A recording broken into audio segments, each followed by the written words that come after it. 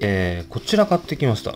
ビッグコミック12月10日後、えー、ゴルゴ50周年らしいですね。で、えー、表紙素晴らしい、かっこいい高倉健さんですかね。かっこいいね。で、これ買ったの理由があって、見えてますね。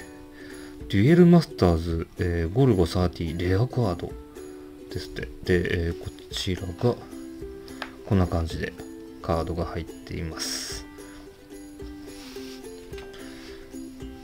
でね、こちら、えの、出てるの知らなくて、出てるの？ついてるの知らなかったんですけど、駿河屋さんでね、えー、なんかネット見てたら、駿河屋さんで680円でプロモカード出てて、かっこいいなと思って調べたら、まだ売ってるんですよね。で、本が390円、雑誌が390円なんですけど、うんね、300円買い取りの680円売りとかになってたんで、まあね、本屋さんに急ぎましたね。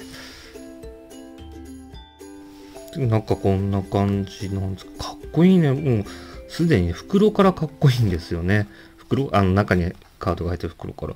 こんな感じですね。見えるか？なこんな感じ。かっこいいんですよね。で、ちょっとカード見てみますね。おめちゃくちゃかっこいい。デモンズライトでゴルゴ30がいて、かっこいいよね。で、もちろんあの、斎藤隆夫先生の書き下ろしイラストですね。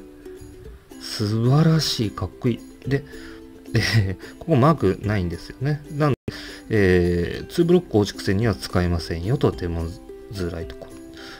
使えたのかな？使えないのか多分。まあ私、あの2ブロック構築線出ないんで、正直全然詳しくないんですけど、かっこいいイラストめちゃくちゃかっこいいですね、これ。はい、あのビッグコミックについてるのって珍しいんじゃないか？なスピリッツに昔ついてたっていうのは知ってたんですけど。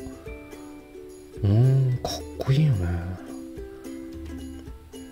なのでえっ、ー、とできたらねあの680円とかで買うよりはあのまだ売ってるんでねビッグコミック12月10日号。で次回の発売が12月10日らしいんでそれまではね売ってるはずなんで、まあ、売り切れることはあんまないと思うんですけど、一応ね、買っといた方がいいかなと思います。何度も言うけど、かっこいいです、イラスト素晴らしい。これ、あれかな？やっぱ、ピント合わないかな？よいしょ。あったね。はい。うん、かっこいい。もう素晴らしいの一言につきますね。で、えー、今期 Y17 期では一番かっこいいんじゃないかな。